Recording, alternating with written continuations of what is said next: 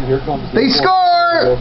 Setoguchi! Setoguchi back to Jokinen. Jokinen spins around to Setoguchi fires a shot and scores. Yes! And just like that, we're tied at one. Well, what you observed about the play? The Gooch puts it home! Nice job here.